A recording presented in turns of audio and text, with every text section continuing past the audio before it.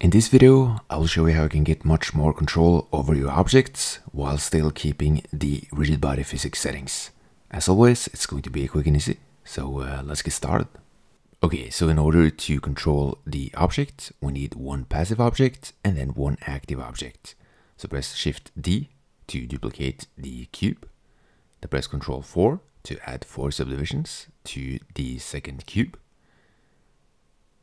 And then let's apply the modifier. And then we can press Tab for edit mode. And I'm going to press Shift Alt S, then 1 to make it a perfect sphere. And then Tab to go back to object mode. And then we can add some smooth shading as well. And then S to scale. And then we're going to add some active physics to the object that we want to control. So let's set it to active and then the shape to uh, sphere because this is of course a sphere.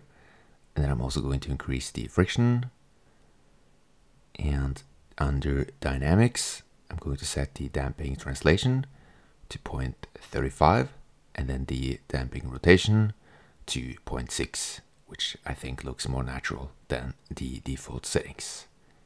Okay, and then let's select the uh, cube. And this is just going to be a passive object that we need so that when we hold in shift and select the sphere, we can connect them. And from that get a rigid body constraint, which allows us to control the sphere while the sphere still has the uh, active physics. Now let's uh, save before we continue. So uh, go to File, Save As, and give it a name. You can save it wherever you want on the computer and then enter to save. Then select the rigid body constraint and turn it into a motor. And then we're going to uh, set the angular target velocity to 6 and the max impulse to 18 so that it moves on its own. And then we can add a plane.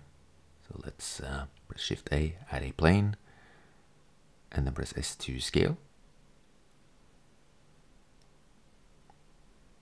Okay.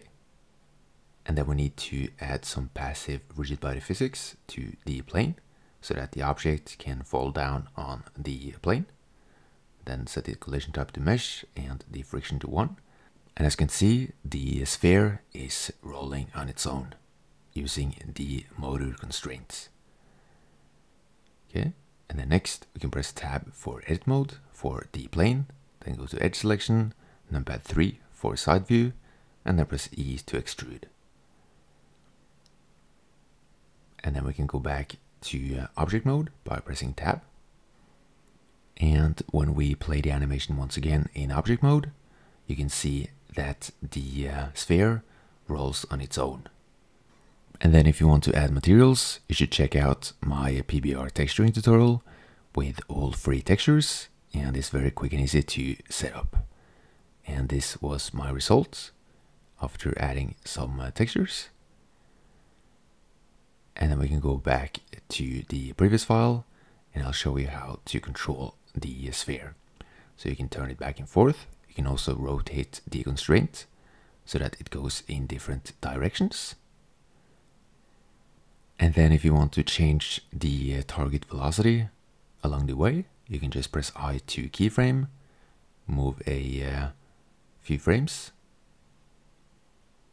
and then change the uh, value. I to keyframe, as you can see, it goes forward and then backwards.